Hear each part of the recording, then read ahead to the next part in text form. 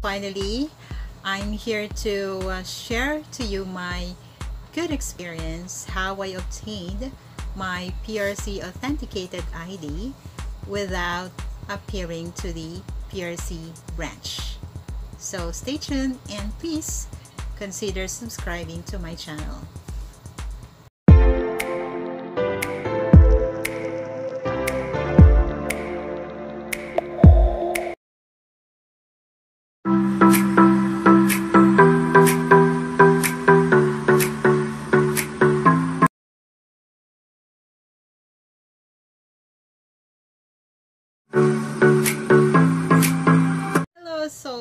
Ka-shell files, so uh, thank you for uh, joining me in this episode.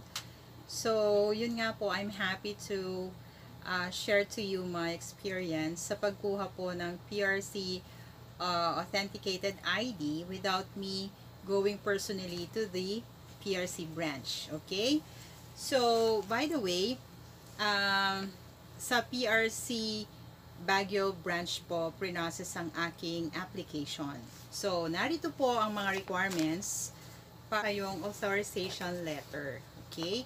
Ang authorization letter na to, ang ang magbibigay po ng authority dun po sa friend nyo or relative or close friend nyo po para magproseso po ng inyong um, PRC authentication application. Okay? So, ito po yung format sa paggawa. Okay? Kung gusto nyo po ng uh, soft copy po nito or template, uh, pwede ko pong i-share po ito sa inyo.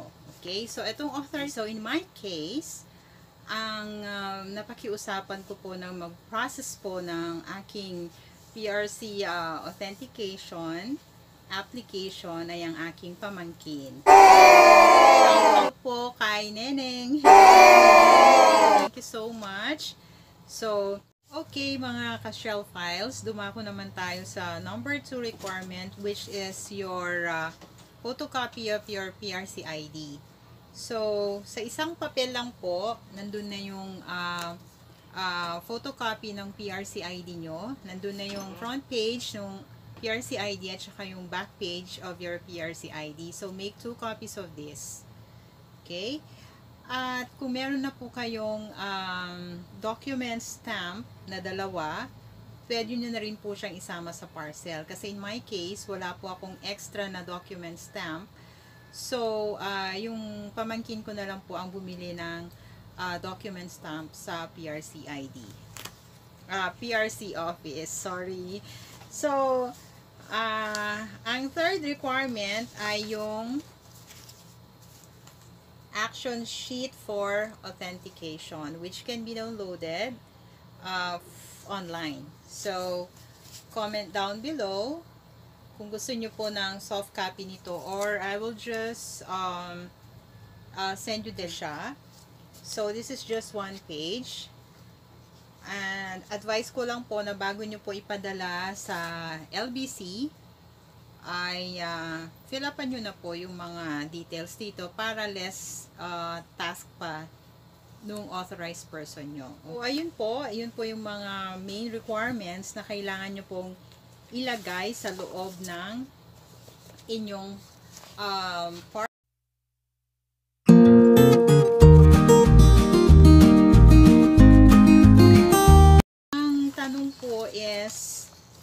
uh, risky po ba na mag-include kayo, na-include nyo po yung uh, PRC ID nyo?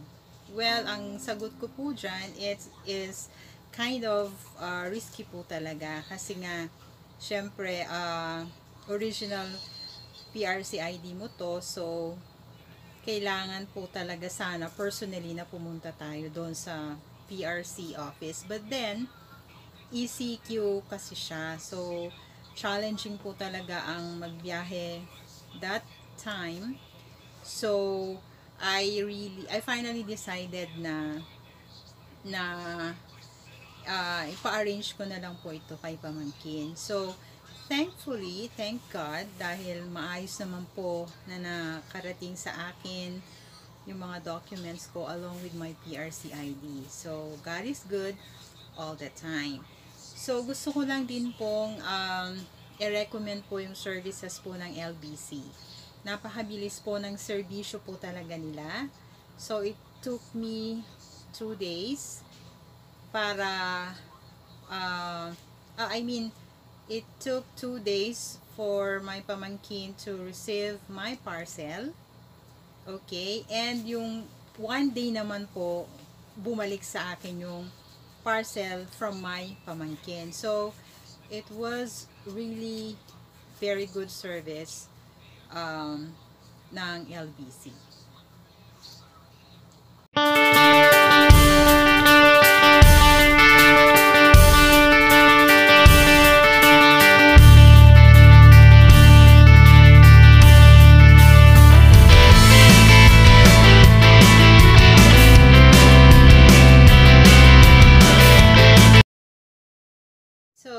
That's a wrap up. Thank you so much for watching. I hope you found this video helpful.